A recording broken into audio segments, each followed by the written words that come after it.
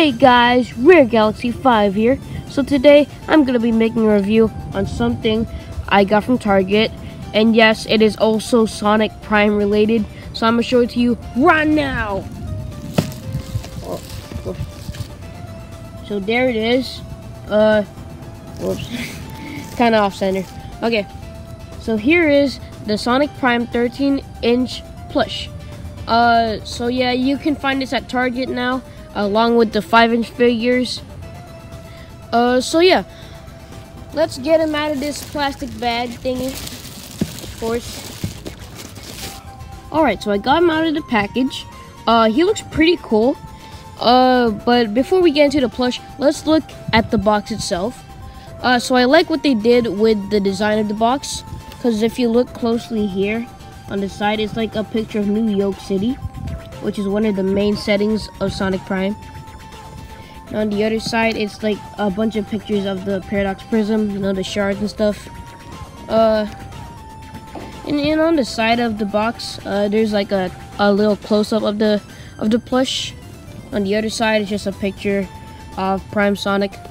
And on the back, here is a, a giant uh, close-up of the plush and it says premium details and stuff like that. Uh, what's on the bottom? The bottom, not really much to uh, say. So, uh, yeah, without further ado, let's go. And I got him out of the package. He looks pretty cool. Uh, so let's look at the head first. Okay, so on the head, uh, as you can see here, he is like really fluffy. He is like so soft.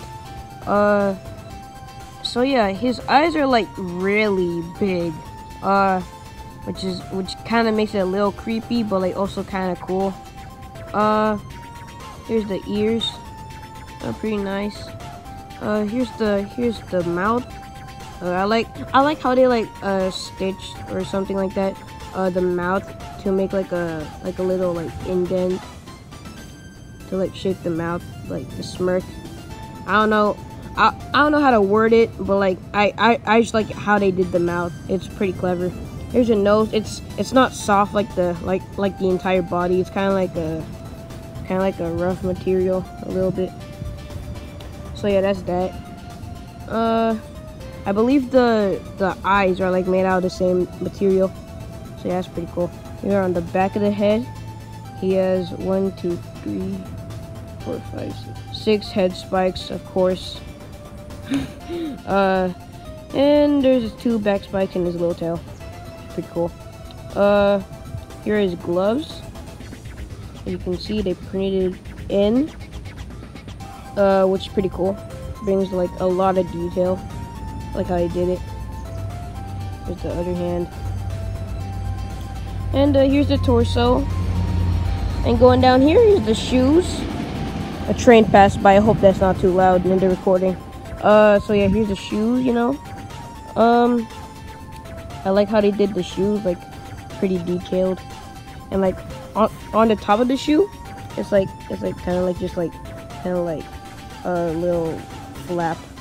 I don't know what material it is. And here's the bottom of the shoe. I like how they just, like, didn't leave it blank and actually put, like, some, some kind of detail. That's pretty clever.